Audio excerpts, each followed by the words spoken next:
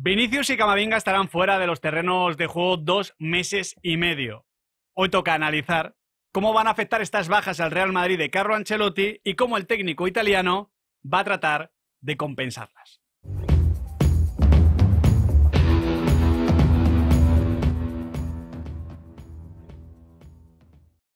Yo creo que lo primero que hay que decir, chicos, es que el Real Madrid entra en estos dos próximos meses y medio en modo supervivencia. Hay que tener en cuenta que ya no está Thibaut Courtois ni Eder Militao, aunque parece que Militao puede regresar a mitad de, de la segunda vuelta, que a Chouameni todavía le quedan semanas para recuperarse y que Vinicius y Camavinga, pues hasta primeros de febrero más o menos, no van a estar. Entrar en modo supervivencia es entrar en el modo en el que entró el, el Club Atlético de Madrid Mm. unas fechas antes de- del derby, en el que ha estado el Fútbol Club Barcelona los últimos meses, e incluso diría yo, Nahuel Miranda, en el que estuvo el Real Madrid en esa lesión, o en ese momento de la lesión de Vinicius, que es verdad que fueron pocos partidos, pero que se juntaba a lo de Militao y Courtois, que ya nos hemos olvidado un poco, pero que no dejaban de ser las grandes certezas competitivas del Madrid en defensa. Justo, pero con una particularidad diría yo que en el caso del Real Madrid la profundidad de plantilla no es tanta como en el Atlético de Madrid, como en el Fútbol Club Barcelona, y esto sobre todo de cara al caso Vinicius creo que es especialmente relevante.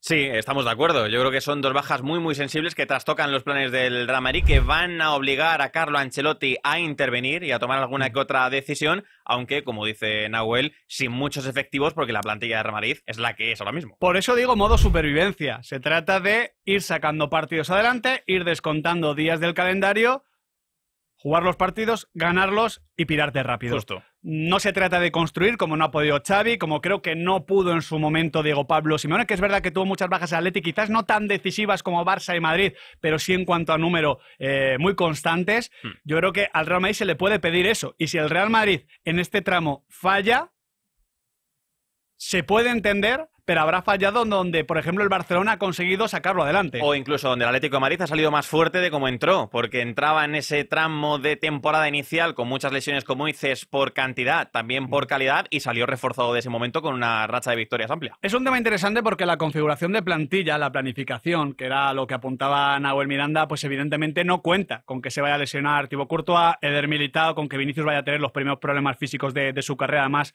por partida doble, que Eduardo Camavinga vaya a tener la primera lesión prácticamente desde que llegó al Real Madrid, lo de Chouameni. No cuenta con esas cosas, como si podía contar quizás con lo de Mendy o incluso lo de Dani Carvajal, que está saliendo bien. Pero es verdad que estas cosas pasan a todos los equipos. Y en el caso del Real Madrid, no está demasiado preparado. Dicho esto, vamos punto por punto. Para empezar, la baja de Vinicius Jr.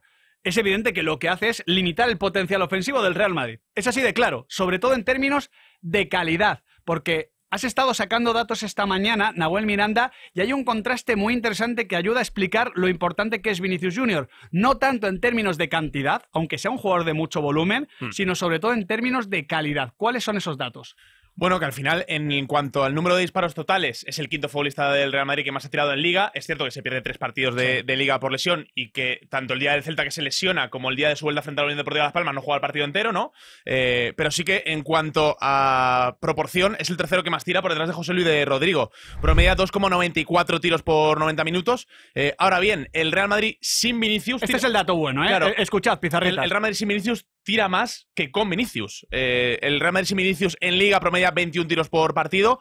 Con Vinicius promedia 16,6 tiros por partido. Eh, si incluimos la Champions, Vinicius solo se ha perdido eh, precisamente el partido de toda la temporada en el que el Real Madrid más ha tirado, que es esa victoria por un gol a cero frente a la Unión Berlín. El Real Madrid aquella tarde tiró 32 veces. En resumen, cuando el Real Madrid tiene a Vinicius Jr. esta temporada, chuta menos que cuando no lo tiene. Esto creo que tiene una explicación en el acierto. Necesita chutar más porque el Real Madrid marca menos goles, entonces tiene que atacar todavía más. ¿Por qué digo esto? Porque el Real Madrid, Nahuel Miranda, a pesar de chutar menos con Vinicius Jr., marca más goles. Justo, eh, marcó 5 goles en estos tres partidos donde no estuvo. Es Eh, una media de unos 66. 1,66 y ha marcado 23 goles en los 10 partidos donde sí ha estado Vinicius, que es una media de 2,3 por partido. Porque Es un tema muy interesante Sí, esto, sí, ¿eh? sí. porque Vinicius, insisto, es un jugador de volumen, pero lo que le da al Real Madrid es que ese volumen tenga más calidad. Claro, ese es el tema, que sin Vinicius sobre el campo los ataques del Real Madrid son más previsibles porque no cuenta con su desborde y las ocasiones en general son de peor calidad porque los remates en muchas situaciones son bloqueados por las defensas contrarias. Al final, la lesión de Vinicius Jr. es eh, un divisor de todo lo que hace el Real Madrid en ataque. Bellingham lo compensó en esa primera lesión, en esa primera etapa más cortita y de comienzo de, de- temporada. Vamos a ver si lo puede seguir haciendo, pero el caso, la clave, es que el Real Madrid sin Vinicius eh, contragolpea menos y peor, desborda por fuera menos y peor y genera ocasiones menos y peor. Aunque chute más, pero la generación de ocasiones de verdad claras es menor porque tienes un elemento menos de desequilibrio. Y claro, aquí es donde hay que mirar a Rodrigo Goes. Hmm. No sé si de forma justa o injusta. Rodrigo ahora viene en buena dinámica, pero al mismo tiempo hay que decir que Rodrigo funciona mejor con Vinicius que sin él. Y el sustituto directo de Vinicius, aunque ya estuviese en el 11, va a ser Rodrigo. A José Lu no le puedes pedir eso que da Vinicius al contragolpe, al espacio, esa repetición de, repetición de esfuerzos, ese venir, ponerse de cara y desbordar, esa capacidad para eliminar una marca y generar la ocasión. Eso no lo va a hacer José Lu. Y te diría que tampoco Jude Bellingham exactamente. El jugador que puede añadir ese desequilibrio y esa velocidad es Rodrigo Goes. Sí, que además puede tener la oportunidad de volver a jugar en el perfil en el que más cómodo se encuentra él, a pie cambiado en banda izquierda, recibiendo muchas veces abierto. Él ha repetido ya durante estas semanas en varias ocasiones que no le gusta esto de jugar por dentro. Ahora por dentro viene recuperando su mejor versión. Partido ante el Braga, también ante el Valencia, asistiendo, marcando, volviendo a recordar al mejor Rodrigo de hace unos meses, pero ahora sin Vinicius quizá pueda sentirse un poquito más liberado para pisar la banda que su compatriota sabes que siempre va a tener ocupada. Es que es curioso esto porque Rodrigo dice en varias declaraciones, como has comentado, Adri, que él prefiere jugar en izquierda que, que por dentro como referencia, y es lógico y es así, pero creo que para Rodrigo es mejor jugar como referencia al lado de Vinicius que en banda izquierda solo. ¿Por qué? Por un En banda tema. derecha. en- o en banda derecha, me da igual, bueno. pero por un tema de absorber juego. Lo que hace Vinicius es que recibe 40 veces por partido. Y puede perder 15 de esos 40 balones, pero hace otras 10 jugadas muy peligrosas.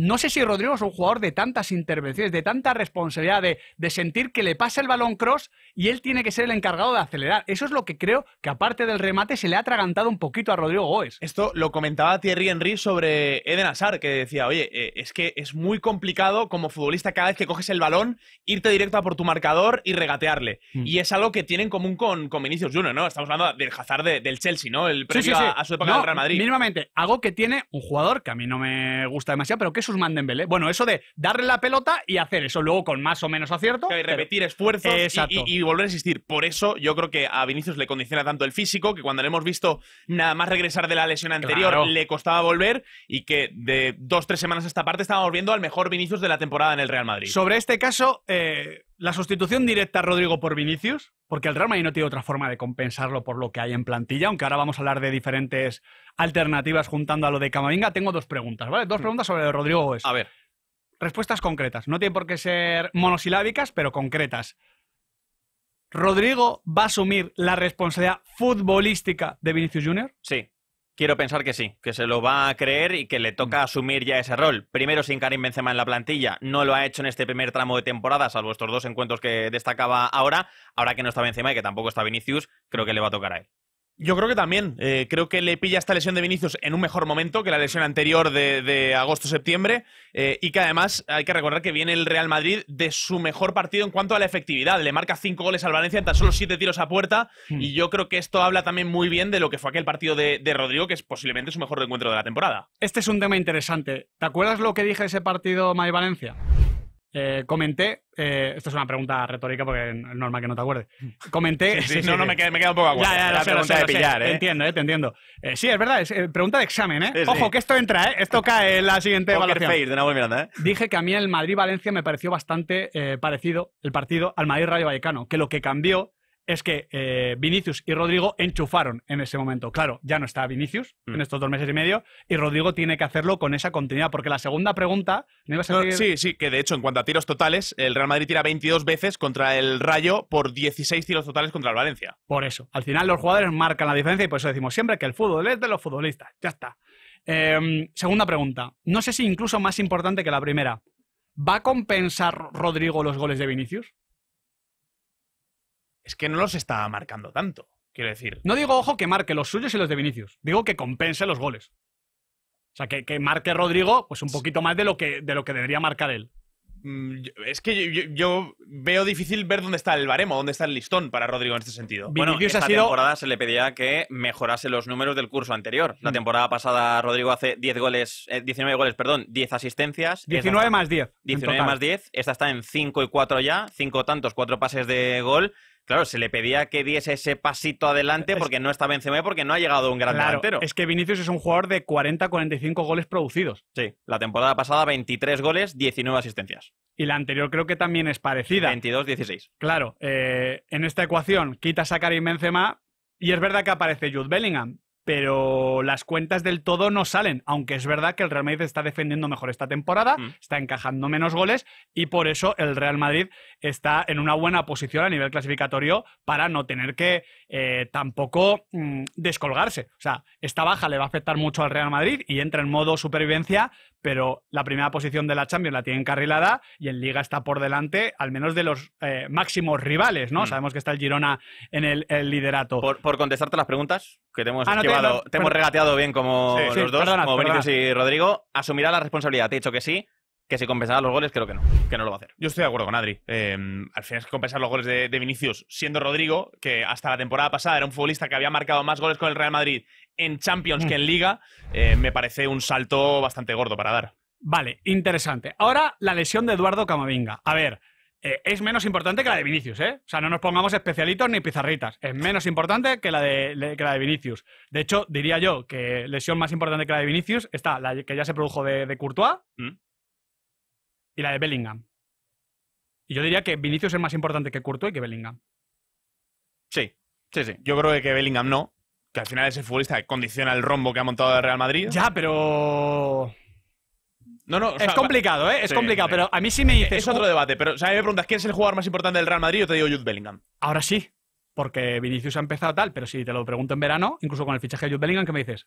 No habíamos visto a Bellingham todavía. Eso también es cierto. Hemos visto a Bellingham y hemos visto a Eduardo Camavinga. Como digo, su baja además está mejor cubierta porque va a regresar Dani Ceballos, está Luka Modric y bueno, Chouameni tiene que regresar antes que Eduardo Camavinga y que, y que Vinicius Junior. Pero claro, tiene daños colaterales. Vamos a poner que aún así eh, Ferran Mendy está sano, ¿eh? Estos dos meses y medio, que ya es mucho decir, Sí, sí, desgraciadamente para el francés. Y que no se lesiona a nadie más. Ya hay daños colaterales. Para empezar, sin Eduardo Camavinga, el Madrid pierde a su lateral más creativo. Y yo diría que al mejor. Sí, de acuerdo.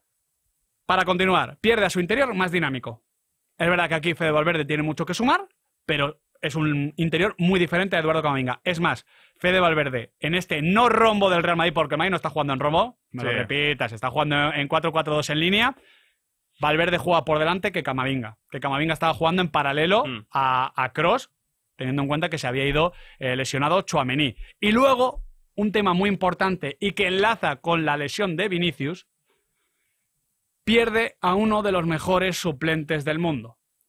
Al final, con la, podríamos decir, marcha de Karim Benzema, el Madrid pierde a uno de los mejores suplentes del mundo, que es Rodrigo Góes, que pasa a ser titular. Es verdad que gana José Lu por Mariano y ahí compensa.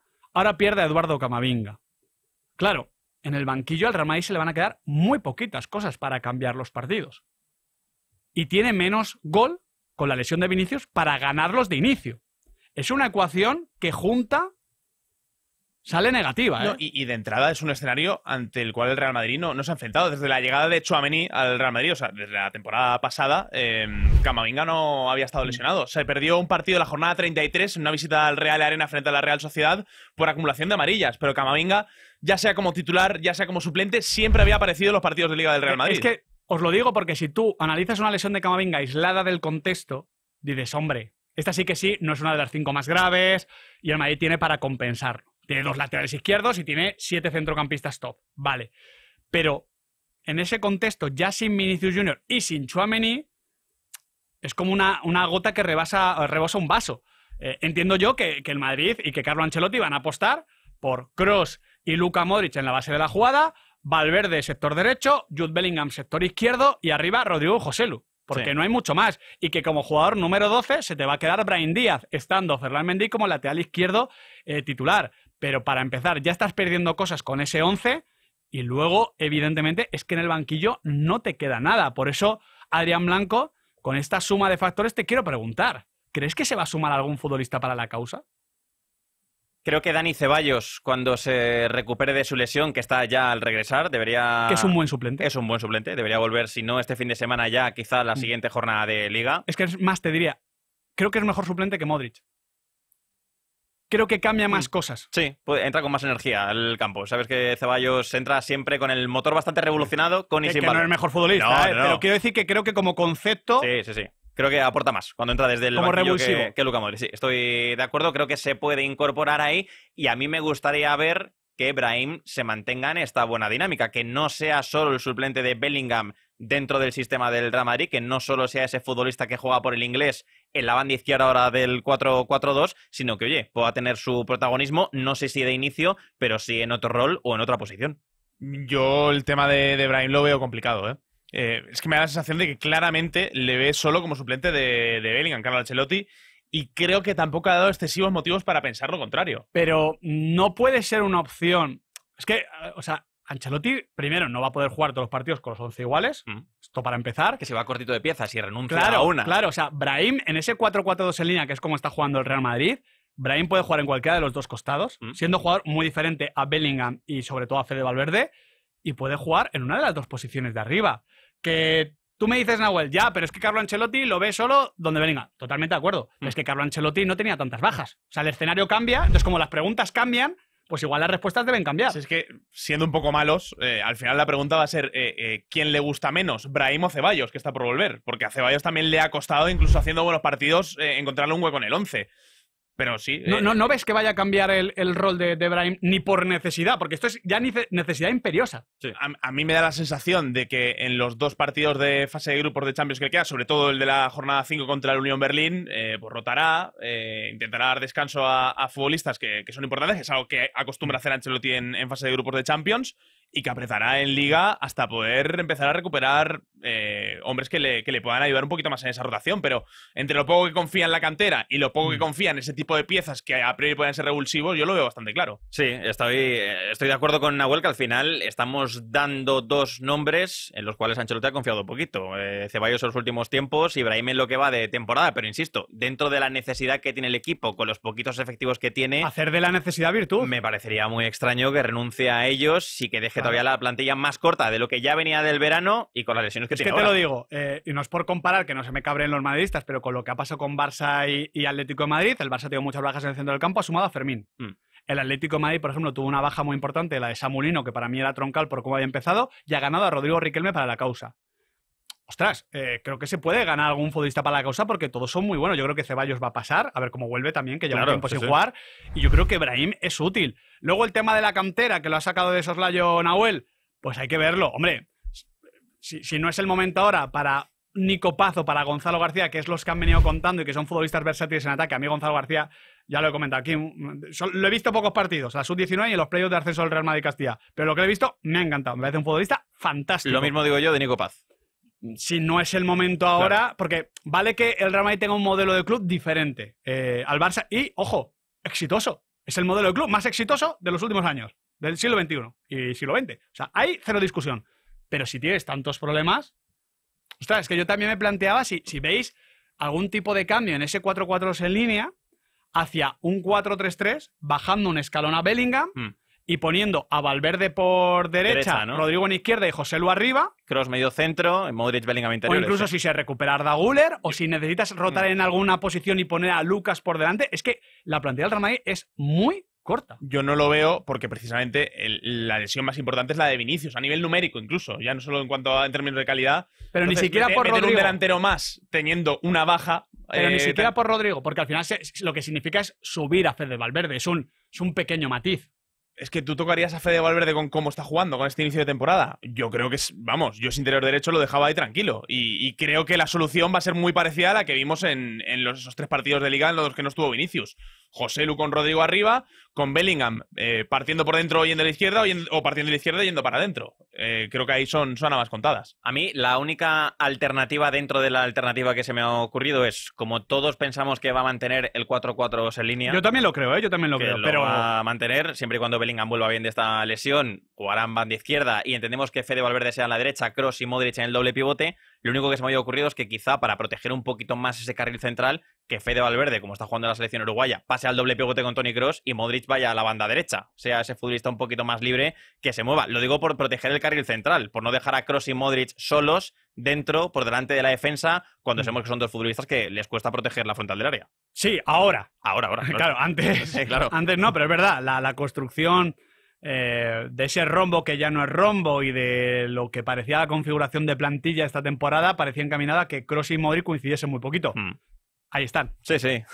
Las circunstancias al Las final. circunstancias y las leyendas, como sí. son también, ¿eh? O sea, esto Y oye, esto no va a pasar, porque, porque no va a Cuidado, pasar. Ver, cuidado. no va a pasar. Línea de tres esto, Cuidado. es, esto es un, un mega tri- un triple desde el parking. con, esto, carrileros. con esto Con- con cerramos, ¿eh? cerramos. Cerramos en lo alto. Ah, eh, viendo que Alaba está jugando eh, en, en el central, a mí me gustaría ver a Alaba de Austria en el centro del campo, por esa misma cuestión de la que hablaba Adri, de un futbolista con más físico, con más recorrido, como, Como- interior izquierdo. Como le para- sobran los centrales al Real Madrid. No, pero a ver, si al final. Está Nacho, sí, está Nacho. Claro, está Nacho, que puede entrar. No hay tanta gente sana. Y ya digo, ¿eh? esto f- casi fútbol ficción. Me gustaría verlo a, a nivel, oye, a ver qué pasa, ¿no? A ver, te- eh, como quien mete el mentos dentro de la Coca-Cola. ¿Sabes? Que nadie se lo tome muy en serio, ¿eh? Que Mira, no, no, quiero ofender. Me ha servido, no, no, no, me ha servido para dar una idea del que puede ser el gran suplente del Real Madrid para remontar partidos en este contexto. Nacho. Alaba pasando al lateral. Hmm. Es, es increíble decir esto, que metiendo a Nacho puede ser revulsivo de un partido, pero esto ya lo ha hecho varias veces Carlo Sí, Ancelotti sí. y Alaba en ataque suma más eh, que Ferran Mendy y diría que también que Fran García, porque Fran es muy de repetición de esfuerzos y tal, pero cuando estás atacando en posicional ya no sorprendes tanto Hmm. y ahí el golpeo de David Alaba sí que te puede sumar. Bueno, son soluciones, alternativas, preguntas que nos hacemos, pocas certezas, porque el Real Madrid ahora mismo, entre comillas, se enfrenta a lo desconocido. Sin Karim Benzema y sin Vinicius Junior dos meses y medio. Está Bellingham, ojalá esté una gran versión de Rodrigo Goes, está muy bien Fede Valverde, Creo que también está mejor el Real Madrid en defensa, sobre todo por un gran Antonio Rudiger y un gran eh, Dani Carvajal. Pero a ver si en este modo supervivencia el Real Madrid de Carlo Ancelotti, pues lo dicho, sobrevive los próximos dos meses y medio.